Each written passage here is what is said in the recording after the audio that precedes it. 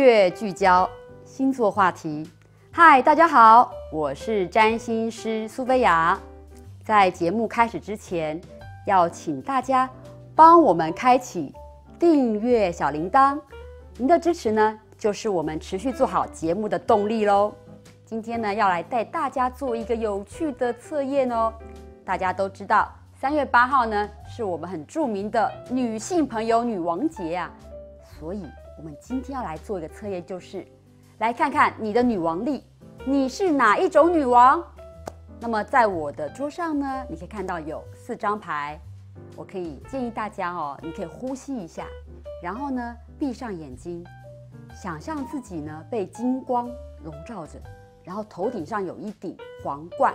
好，你要确定你有这一个心理的印象之后呢，打开你的眼睛，然后看向我们这四张牌。你觉得哪一张跟你的频率很接近，我们就来选择，好吗？所以这个重点就是啊，我们要先相信自己是女王哦。那从我左手边开始，一、二、三、四啊，来做编号，一、二、三、四，来看看大家选的是什么牌。好，我们现场已经有人在选了，OK。好的，让我来为大家揭晓。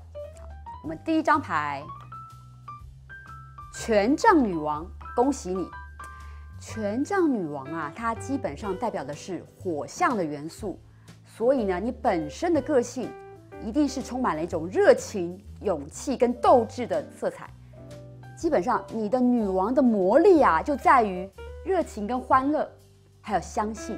你相信你自己可以做到什么，你就可以。那么，基本上呢，呃，这张权杖女王牌呢，它。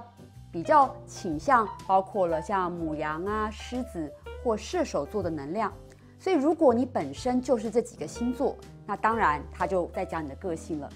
如果你本身不是，他就在告诉你，其实你的内在有一把强烈的热火啊，在推动你往前走。那么抽到我们这张权杖女王牌的朋友呢，它其实代表你最近或是今年很容易有一个很重要的使命在你手上，权杖。老板给你的，或者是长辈给你的，家族给你的，你自己给你自己的，好吗？所以呢，这张权杖女王牌呢，就告诉你，今年你的领导力，或者呢是感染别人的热情力是非常棒的。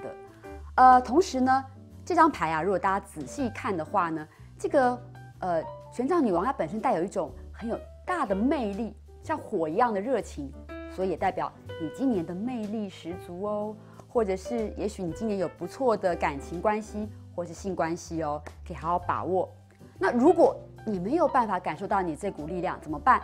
告诉你一个开启内在权杖女王魔法的方法，就是呢，今年要多多晒太阳，多接触温暖热情的东西。好事或贵人呢，往往会在东方哦，大家可以留意看看。再来，我们看到第二张牌噔。圣杯女王啊，圣杯女王呢是非常感性柔情的，她可能是女神型的这种啊女王，或者是妈妈型的那种女王啊，呃，跟之前这个权杖女王不一样啊，权杖女王比较像领导者，像个明星，她比较内敛一点，但是她拥有非常强大的这个渗透力、感应力。通常你抽到这张牌。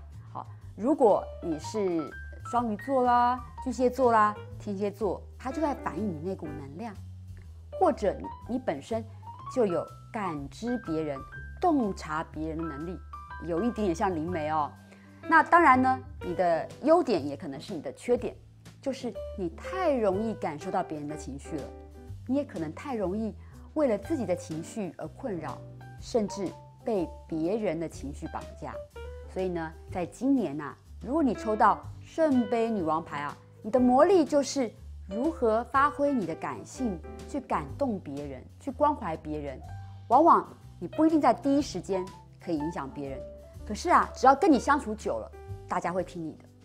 那么你自己要去设定的是呢，一个边界，一个结界啊，就是什么事情量力而为，刚刚好就好了，才能避免呢太过的付出。然后呢，被别人影响哦。那么今年，如果你想要启动、加强你的女王力，我会建议你啊，呃，平常多喝水，或者是多接近有水的大自然。当然，保持身体皮肤的这种水润性也非常重要。你的好事或贵人呢，往往会在北方哦，可以参考看看。再来，我们看到第三张牌，噔噔，金币女王。金币女王基本上啊，就是一种贵妇型的女王哦。好，她呢可能包含着金牛座、处女座、摩羯座的特质，或者是非常务实的特质。抽到这张牌的朋友，恭喜你，你有很棒的感官能力。你知道什么是美的，什么是好吃的，你有那个鉴别鉴赏力。通常你也可能呢比较会存钱，会赚钱，或者是会买东西，会享受。所以啊，这张牌它在告诉我的是，如果你是金币女王，你的那个魔力在于你可以让你的生活井井有条理，而且很丰盛，不用担心没钱，不用担心吃不好穿不暖。但缺点呢，可能就是有的时候你太容易，呃，受到这种物质的影响，就有点像那个，呃，《冰原历险记》有没有？那个一在追逐那个栗子的那个松鼠，你很怕钱不够用，你很怕买不够东西，这个可能会为你带来一点小困扰。但是不用担心，今年呐，很重要的就是你呢，一定能够在你的生活领域里面建构好一个安全感。更重要的是，这张牌也在提醒你。今年你一定要在某一个领域里，不管是家庭，或是财务，或者是事业上，要独立自主，因为你很可能啊，平常会习惯依赖别人，或者是被别人依赖。今年呐，要有点创新，要有点独立哦。那么，如何开创你这个金币女王的魔力呢？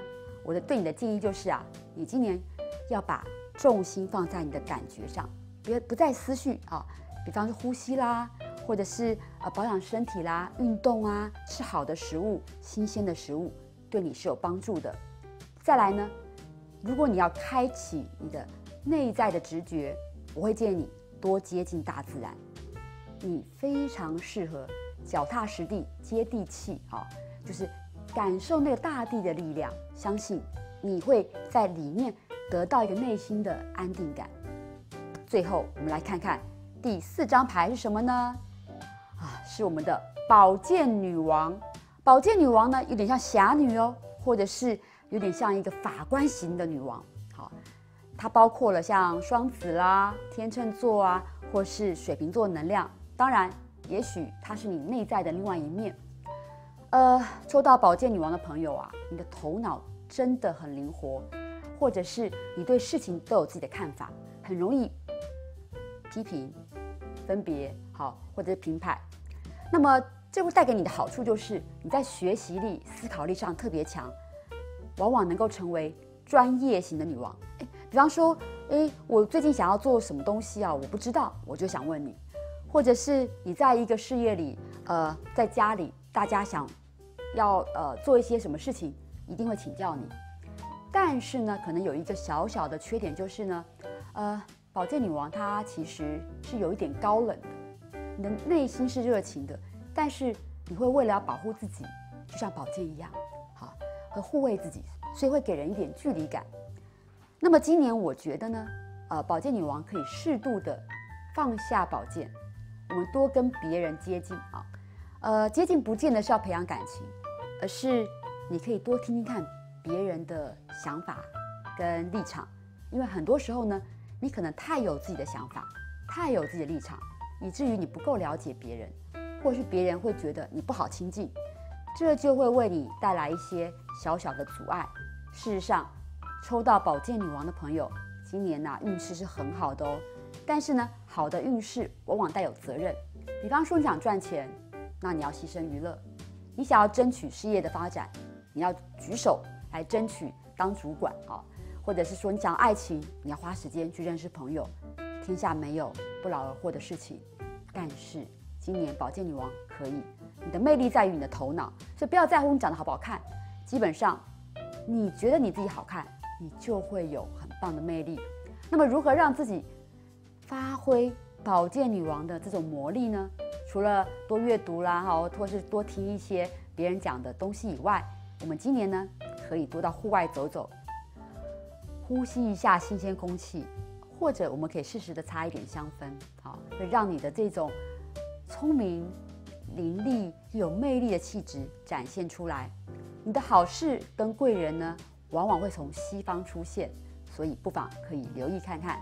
以上就是我们针对四种类型的女王做的分析，希望在今年呢能够帮助大家都找到或成为自己真正应该成为的女王。